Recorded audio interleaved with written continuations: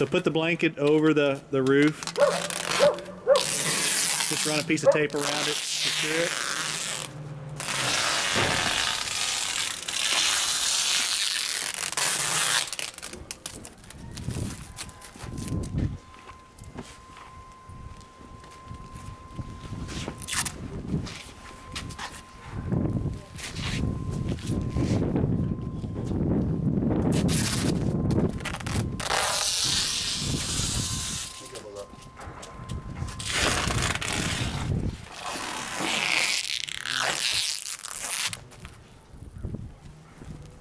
This just holds the pads in place.